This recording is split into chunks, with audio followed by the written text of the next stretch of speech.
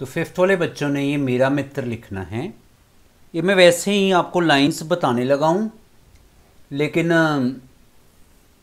आपने मतलब अपने से ही लाइन भी बना सकते हो। मेरा मित्र, राम मेरा पक्का मित्र है। वह पांचवी कक्षा में पढ़ता है। यहाँ पे बिंदी डालनी नीचे, पढ़ता है। उसकी आयु बारह वर्ष है। वह बड़ा, यहाँ पे बिंदी डालनी बड़ा, स्वस्थ और सुंदर है। ठीक है? उसका कद लंबा है और बाल काले घने हैं। ठीक है? बाल काले घने हैं। वह सदा साफ़ सुथरे साफ़ सुथरे बीच में लाइन डालनी वस्त्र पहनता है। वह बड़ा बड़ा में भी बिंदी आनी है यहाँ पे, रो के नीचे। परिश्रमी, रो को छोटी और मोह को बड़ी, परिश्रमी है। उसके पिताजी एक वकील हैं। आप कुछ भी लिख सकते हो, जो आपका मित्र है उसके पिताजी के बारे में। उसकी माताजी एक स्कूल में पढ़ाती हैं। राम बहुत होनहार लड़का है। वह परीक्षा में सदा प्रथम रहता है।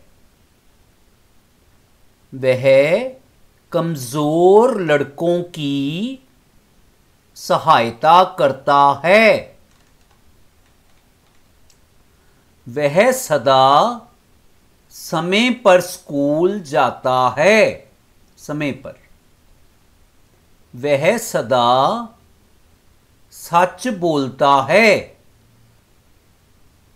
सभी अध्यापक उससे प्यार करते हैं।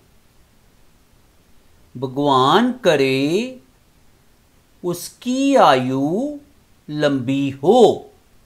तो ऐसे आपने ये पढ़ना भी है और उसके बाद अपने आप लिखना ठीक है? एक बार दोबारा देख लो। मेरा मित्र राम, मेरा पक्का मित्र है। ठीक है? चाहे लाइनें डाल लो। वह पांचवी कक्षा में पढ़ता है। उसकी आयु बारह वर्ष है। आयु लिख दो। वह बड़ा स्वस्थ और सुंदर है। उसके बारे में लिख दो। उसका कद लंबा है और बाल घने हैं। काले घने हैं। वह सदा साफ़ सुथरे कपड़े पहनता है। वह बड़ा परिश्रमी है। ठीक है ना? ये उसके बारे में लिख दिया। अब उसके पेरेंट्स के बारे में। उसके पिताजी एक वकील हैं। उसकी माताजी एक स्कूल में पढ़ाती है। राम बहुत होनहार लड़का है। वह परीक्षा में सदा प्रथम रहता है।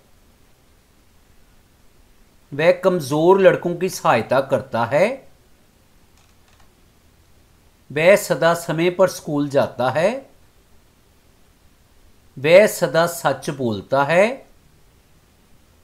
सभी अध्यापक उससे प्यार करते हैं। यहाँ बिंदियाँ नहीं है। सभी अध्यापक है ना, बहुवचन है, इसलिए बिंदियाँ नहीं है। भगवान करे उसकी आयु लंबी हो तो ऐसे आपने करना।